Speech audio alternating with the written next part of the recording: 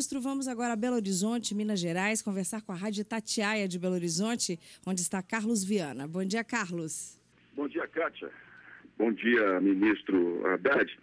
Quando o senhor assumiu, nós, na época, tínhamos um estudo muito amplo da educação superior no Brasil, mostrando que nossas universidades, quando comparadas com pares no exterior, gastava-se muito mais aqui e produzia-se muito menos na comparação com as grandes instituições internacionais.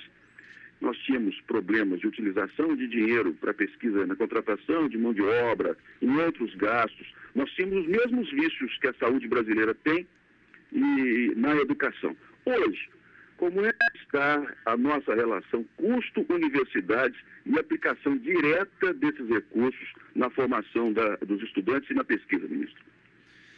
Muito obrigado, Carlos, pela pergunta. Olha, eu diria para você que a ciência brasileira está avançando muito fortemente. É, não é de hoje. Né? Nós temos aí. É, é, o Brasil largou, largou tarde em educação superior na comparação latino-americana. Sabe que o Brasil foi um dos últimos países do mundo a criar uma universidade, né? Ah, perdão, da América Latina, a criar uma universidade. E, uh, apesar disso, nos últimos 30 anos, a ciência brasileira andou bem. O Brasil hoje é uma potência científica regional importante. Na América Latina não há país que se equipare ao Brasil, é, mesmo considerando é, a soma da produção latino-americana, o Brasil responde por praticamente 50% da produção científica do, da América Latina. É a 13 terceira potência científica do mundo. Né? Saímos da 19 posição para a 13 terceira posição temos, temos toda a chance de, nessa década, estar entre os 10 países que mais produzem ciência no mundo. A dificuldade do Brasil é traduzir essa ciência em tecnologia, em aplicação para o aumento da produtividade do trabalho.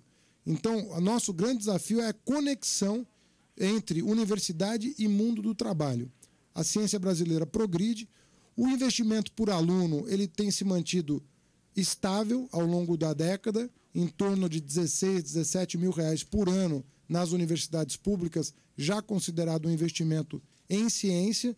Então, é um patamar. O investimento em educação básica mais do que dobrou o investimento por aluno da educação básica, o que fez reduzir a disparidade entre a educação básica e a superior.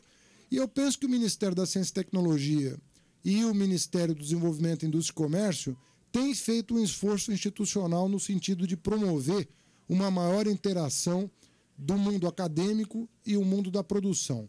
Isso se revela em algumas atividades. Por exemplo, não existiria Petrobras, não existiria a Embrapa, se não fossem as universidades públicas brasileiras. Né? Esses são os profissionais brasileiros que transformaram essas empresas em empresas globais. Mas nós temos ainda vastos setores da economia que poderiam se beneficiar do conhecimento produzido nas universidades e que são refratários à inovação. Então há também uma mentalidade do próprio empresariado que precisa mudar no sentido de buscar o aumento da produtividade do trabalho no Brasil.